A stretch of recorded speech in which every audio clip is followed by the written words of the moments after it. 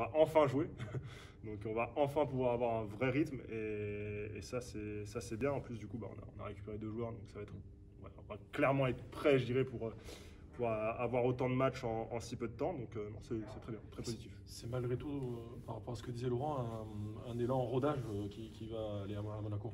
Ouais, ouais, tout à fait, tout à fait. Après, voilà, comme je l'ai dit, hein, maintenant, il reste encore euh, deux tiers de la saison. Donc, euh, je dirais qu'il y, a pas mal de matchs euh, qui, vont se passer.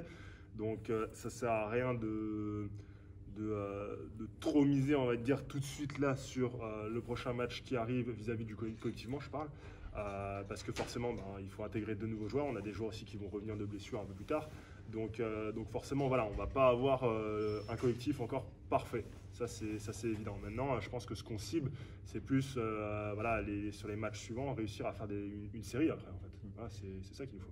Les deux c'est un message envoyé à l'équipe aussi pour dire euh, voilà, on a, des ambitions, on veut y aller, on veut que ça sérieux. C'est comme ça que c'est perçu enfin, bah, enfin, En tout cas, c'est comme ça que moi je le perçois. Euh, clairement, c'est une preuve simplement que voilà, on, on veut pas juste faire figuration et puis euh, se dire bon voilà c'est encore une année pour du beurre et puis on termine comme ça.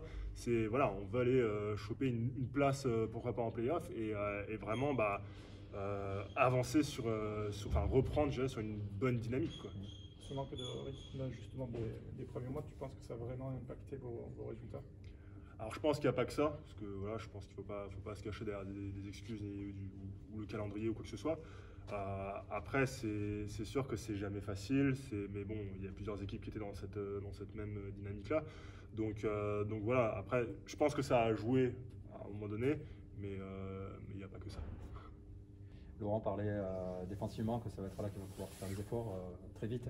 Euh, tu as la conscience aussi que ça passe par là, par la défense bah, Si on regarde les quelques derniers matchs qu'on a joués, on a encaissé à chaque fois pas mal de points. Donc je pense que c'est sûr que c'est un, des aspects où il faut qu'on soit beaucoup plus vigilant et, assidu. surtout, que derrière, je pense que c'est quelque chose qui peut nous donner justement des, ballons de relance et, pouvoir aller chercher bah, des contre-attaques et des choses comme ça, des transitions. Euh, ce qu'on avait à un moment donné en, début de saison hein, avec, euh, avec Shannon. Donc, euh, donc voilà, c'est clairement là-dessus ouais, qu'il va falloir qu'on fasse un, gros boulot. Et, et, derrière, ça va nous apporter beaucoup, beaucoup de choses de l'autre côté du terrain aussi. Quoi.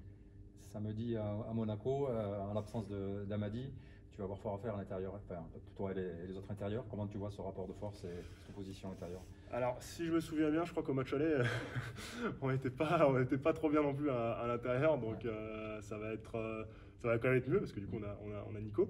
Mais, euh, mais ouais, bah, de toute façon il va falloir faire le taf. là, ils ont, ils ont récupéré en plus encore un joueur, donc que je connais très bien aussi. Donc, donc voilà, il va falloir faire, faire le taf tout simplement. Et puis, et puis, et puis comme au, match aller, je pense qu'on avait fait plutôt un, bon job euh, là-dessus, voilà, euh, sur, bien retenir leurs joueurs, que ce soit donc, bah, Mathias ou, euh, que ce soit bah, O'Brien, tout ça. Donc, voilà, il va falloir faire le, même type de job, surtout bien, bien, bien, bien sécuriser le rebond. parce qu'en plus, on a, aussi pêché là-dessus un peu sur les derniers matchs. Donc bien sécuriser le rebond parce que bah, les mecs ils y vont et puis ils y vont à fond. Et, et puis derrière courir, courir parce que les mecs ils partent en transition, ils partent en contre-attaque, c'est vraiment ce qu'ils font le plus.